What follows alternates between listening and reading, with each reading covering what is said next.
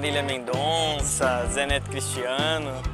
Sou paranaense, né? Eu sou gaúcho, né? Natural lá de São Luís Gonzaga. Bem dizer, saí do mato lá, né? Música gaúcha é também meu, uma das, das músicas que eu gosto de escutar também. Em jogo eu curto bastante também alguma coisa de rock, alguma coisa um pouquinho mais agitado. Até o heavy metal às vezes rola. Então, eu gosto de ouvir bastante samba, pagode. Eu gosto de ouvir também às vezes eu escuto uns rap e tal, mas o samba e o pagode é... Sou de periferia, né, meu? Sou de comunidade, então sempre gostei muito de, de ouvir rap, samba. Então tem essas raízes por aí, rap, samba. É, eu gosto mais de samba raiz, né, cara? Sou mais do, da raiz, Zeca Pagodinho, João Aragão, fundo de quintal. Então eu já toco bastante tempo.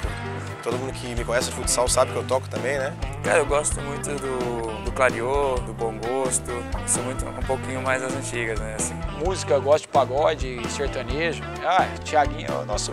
Toda vez que tem a tardezinha ali perto de Sorocaba, a gente dá um jeito de fugir ali, né, cara? Ah, cara, eu vou de music, ah, tem Waze, Black Sabbath, essas coisas, é, curto bastante. Cara. E sertanejo também, agora namora Jorge Matheus ali, o Felipe Araújo, que eu Gustavo Lima, cara, eu sou fãzaço do Gustavo Lima. Desde Garça, desde Garça ali tinha bastante, então... Ah, tive uma banda de reggae também na escola. eu tive, eu tive uma banda de reggae, eu não lembro, fiquei um tempão de sem lembrar disso.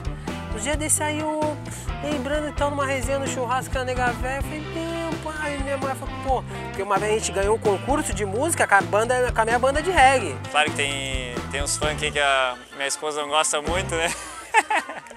35 por ano não dá, né? Se eu pegar uma noite mal dormida aí, eu fico uns 4, 5 dias, no, eu brinco lá, tomando soro lá em algum plano de saúde aí. Não dá mais pra mim isso daí, né, cara?